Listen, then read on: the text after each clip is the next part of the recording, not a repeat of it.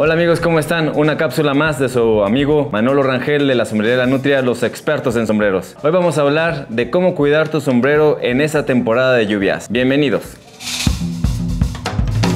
Como a todos nos ha tocado vivir amigos, estamos viviendo una temporada un poco atípica de lluvias, el clima cambia, ahorita no se sabe ni cuándo, pero nos sorprende la lluvia y cuando menos no lo esperamos ya estamos sufriendo con nuestro sombrero y batallando, pero tenemos algunas recomendaciones que hacerles para ustedes para que su sombrero siempre esté en muy buenas condiciones. Una, quisiera mostrarles a ustedes diferentes alternativas que tienen, aparte de los sombreros de fieltro, también tienen como opción los sombreros que son de gamusina, estos son resistentes al agua. Está la otra opción de los sombreros que ustedes ya conocen, el chantú o espalma de arroz, también resisten bastante, aunque claro hay un cierto limitante con estos. Y la otra es usar forros para el agua. Y en caso de que ya nos agarre el aguacero con nuestra tejana, lo que les recomendamos es inmediatamente llegar a su casa con un cepillo o un trapo, quitarle lo más que se pueda de humedad de inmediato y colgarlo en un perchero para dejar que todo el agua escurra por la parte de abajo hasta que seque en su totalidad. En caso de no tener un perchero, la verdad cualquier objeto que nos permita que se mantenga colgado y que escurre el agua será suficiente. Bueno, y un consejo para los que casi nunca usan el forro para el agua y que no son tan precavidos. Cuando compren su forro para el agua hay que considerar lo siguiente. Hay una costura en el forro que casi siempre va por la parte de enfrente, se coloca de inmediato, así de esta forma, para poderlo poner rápido. Bien amigos, ¿qué les pareció? Intentamos tener información que a ustedes les sea útil con su sombrero y esperamos si tienen alguna duda nos lo hagan saber por medio de Facebook, búsquenos ahí y verán nuestro catálogo de sombreros que tenemos para ustedes. Amigos, pues no me queda otra más que despedirme, invitarlos también a que vayan al al próximo 21 de octubre al evento de Charo, donde viene la dinastía de Tuzantla y seguramente ahí nos vamos a divertir. Y no importa si llega el agua, ustedes ya saben cómo cuidarlo. Hasta luego.